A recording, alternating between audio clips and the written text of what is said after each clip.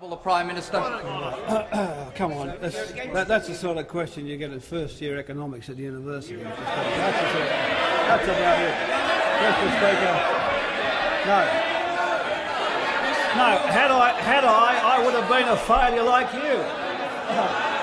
Uh, Mr. Mr. Speaker, Mr. Speaker, I could have ended up like you. Uh, so what happened? The lemmings of the bond market sold their bonds. And when you sell a bond, let me just explain, just put this to you in ABC terms. When you sell it and the price goes down, the yield goes up.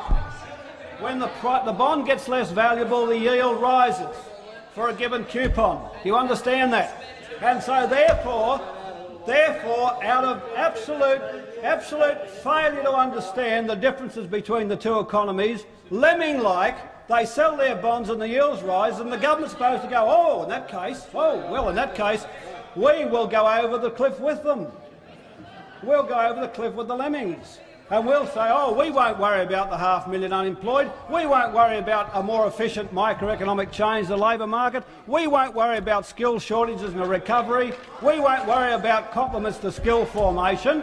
What we'll do is we'll spend the money reducing the budget deficit. Meanwhile, with no guarantee there would have been any change in interest rates, simply only that the people who are now talking their book, having sold the bonds cheaper, they're not going to now commit themselves to the fact, no, no, are no longer going to commit themselves to the fact that they can take that they can take a lower interest rate.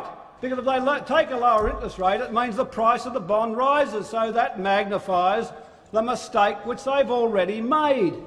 So they're talking their book, and you want, you want to regard that they're talking in their book of some sort of high spiritual mystic science.